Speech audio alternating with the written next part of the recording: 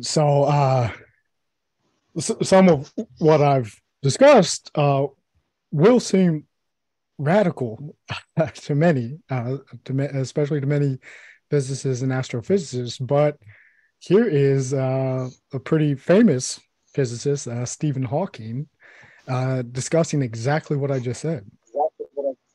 Uh, so uh, he's talking about uh, gravitationally collapsed objects, black holes, of a mass of the Planck mass 10 negative 5 grams upwards, which were, were formed as a result of fluctuations in the early universe, the, the Planck energy density. Uh, they would carry an electric charge of up to uh, plus or minus 30 electron units. Such objects would produce distinctive tracks and bubble chambers and could form atoms with orbiting electrons or protons.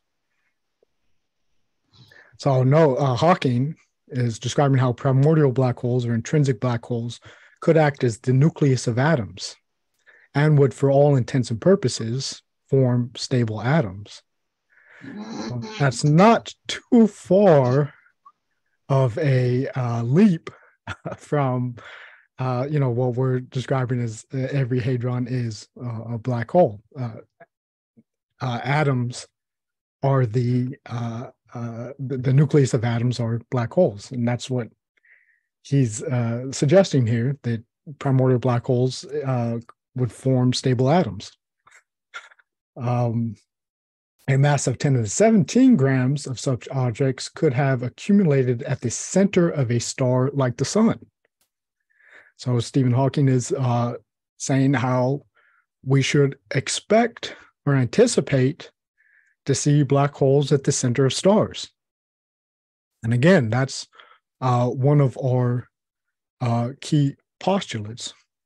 Uh, th- this uh, image here, uh, this is actually from another article that I wrote some time ago uh, where discussing how uh, stellar mass black holes are essentially gravitational atoms, macroscopic atoms. Uh, so, you know, uh, what we call atoms uh, are, are gravitationally bound particle like objects.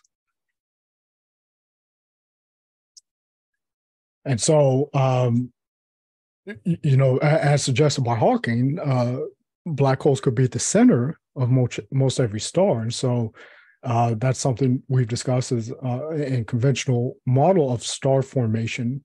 You have just uh, something um, triggers the collapse of a stellar nebula, a hydrogen gas cloud. Um, and with a massive star, it goes through this cycle and forms a black hole more likely what you have is that a primordial black hole acts as the accretion nucleus for this hydrogen gas cloud, this nebula. Uh, and uh, that is what triggers the formation of this organized system, the massive star. And, uh, you know, it, can go through the normal cycle of synthesizing uh, those uh, uh, um, multi-nucleon elements like carbon, nitrogen, and oxygen, you know, things pretty essential for life in the living system. Uh, and the supernova that produced the heavy elements, heavier than iron. Uh, but it's not so much that the, the black hole is formed during the during the, the, the death cycle, so-called death cycle of this star. It's just that uh, that hydrogen gas was fully converted into heavier elements, metals, uh, and the central black hole is then revealed, the central black hole that was always there. And this could go on uh, to trigger another cycle. If it goes into another uh, hydrogen gas cloud, form another massive star and re- repeat the cycle. That is, it is a seed of creation.